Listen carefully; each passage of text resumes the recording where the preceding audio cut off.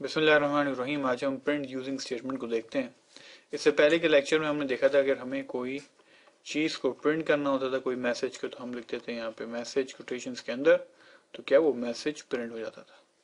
हमें कोई वेरिएबल को प्रिंट करना होता था तो हम प्रिंट स्टेटमेंट लिखते थे, और उस वेरिएबल को लिखते थे ना वेरिएबल मिसाल के तौर पर एक्स है तो क्या एक्स की वैल्यू प्रिंट हो जाती थी?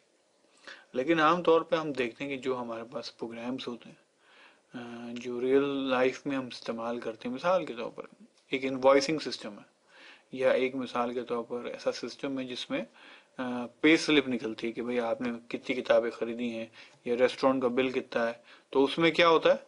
उसके अंदर जो पैसे होते हैं, उसमें क्या होता है? रुपीस लिखा होता है। और फिर आपकी न्यूमेरिक में उसकी कॉस्ट लिखी हुई होती है। ऐसे ही होता है। अगर आपको प्रोग्राम बनाना हो और ऐसा प्रोग्राम बनाना हो जिसके अंदर नंबर्स को प्रिंट करना है। नंबर्स को प्रिंट करना हो और उसके साथ आप शुरू में या आखिर में आपको खास किस्म का कोई करेक्टर्स लगाना चाह रहे हैं। जैसे कि मिसाल के तौर पर ये ये एक एग्जांपल है कि आप चाहते हैं कि जो भी एक्स की वैल्यू प्रिंट हो, उससे पहले रुपीस आ जाए। ठीक है, जो भी एक्स की वैल्यू प्रिंट हो, उससे पहले रुपीस आ जाए और बाद में ऐसा आ जाए। या एक और बहुत अच्छी मिसाल हो सकती है कि मिसाल के तौर पर आपका एनआईसी नंबर है। एनआईसी नंबर है आपका five one seven dash three eight dash one four six मिसाल के तौर पर सेवन एट तो अब इसकी रिक्वायरमेंट क्या है? कि जो भी आप नंबर वैल्यू दें, वो इसी फॉर्मेट के अंदर हो। उसमें क्या हो? तीन नंबर्स के बाद एक डैश है, फिर दो नंबर हो और फिर मिसाल के तौर पर पाँच नंबर हो। तो ये डिफरेंट किस्म की आपकी ज़रूरत पड़ सकती है आपको अपने नंबर्स को फॉर्मेट करने के लिए। तो उस, इन सब चीज़ों के लिए हम क्या करते हैं? हम प्रिंट यूजिंग इस्तेमाल करते हैं। आइए इसकी एक सिंपल सी मिसाल देखते हैं। अब आइए हम यहाँ मिसाल देखते हैं कि यहाँ पे हमें क्या है? एक बिल है जो हमें प्रिंट करना है। पहले हमने क्या है? बिल की अमाउंट लेंगे मिसाल के तौर पर। ट्वेंटी रुपीज़ थर्टी रुपीज़ और फिर दूसरे इनपुट लिया हमने। बिल नंबर टू की अमाउंट को लिया। और इन बिल के अमाउंट को हम प्रिंट कर रहे हैं। जो चीज़ यहाँ देखने की है कि हम यहाँ कर क्या रहे हैं, हम लिखा कोटेशन के अंदर आर एस है और चार ये नंबर्स आएँगे ठीक है स्लैश है और फिर ये है और फिर अमाउंट है।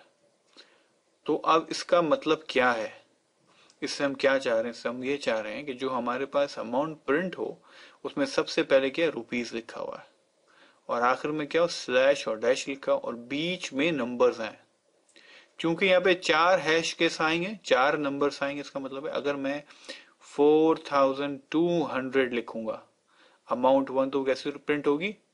वो ऐसे प्रिंट होगी रुपीज़ फोर थाउज़ेंड अगर मिसाल के तौर तो पर मैं कोई ऐसा डिजिट प्रिंट करूँ जो तीन डिजिट का हो तो वो कैसे प्रिंट होगी? रुपीज़ इस, यहाँ के तीन डिजिट्स में वो वैल्यू आ क्योंकि अब चार डिजिट्स हो गई है ना।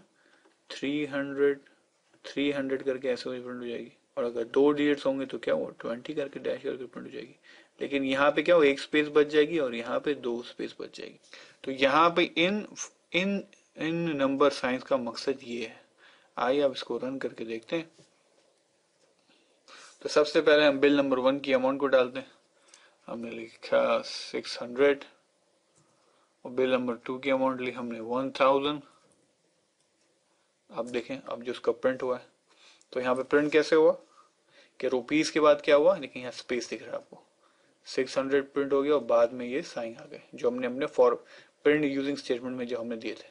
और फिर क्या रुपीज़ वन थाउज़ेंड आ गया और बाद में इसके शुरू में हमने रुपीज़ आ गया और बाद में ये वाले करेक्टर आ गए। तो ये है आपकी प्रिंट यूजिंग स्टेटमेंट्स आइए हम यहाँ पे अपना लेक्चर खत्म करें।